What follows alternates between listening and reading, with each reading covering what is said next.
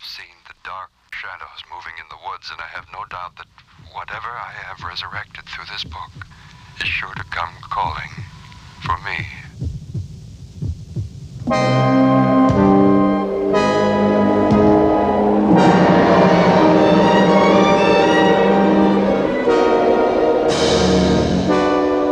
No, it was the woods themselves. They're alive,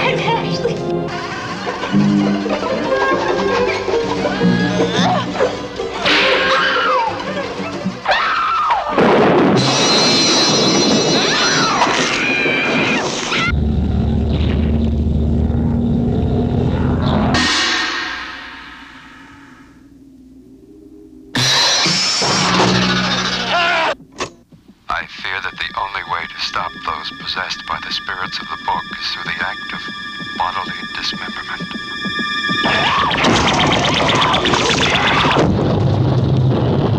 I don't care what happens to her. She's your girlfriend. You take care of her.